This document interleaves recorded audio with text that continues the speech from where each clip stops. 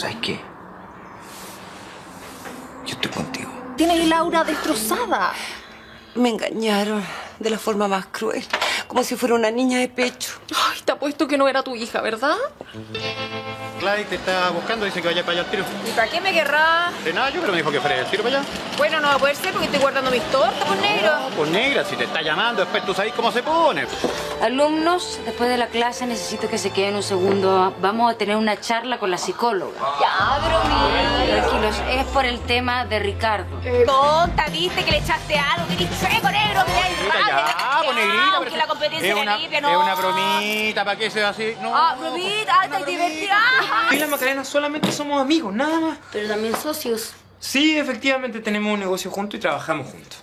Pero papá, si tú te pones las pilas, estoy segura que le vaya a... Siempre de, de chico, de chico que hago deporte, sí. Ah, mira qué divertido. Nunca me hubiera imaginado.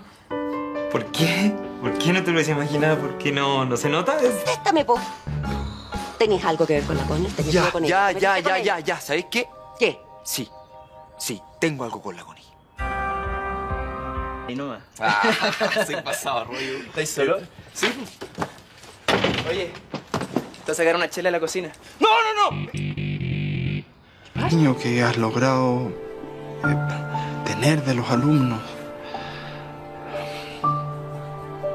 Cariño que has logrado tener de Ricardo.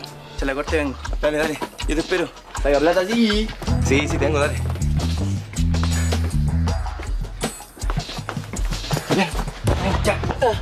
No, dígale que se vayan, nomás ya ha sido muchas visitas, de verdad.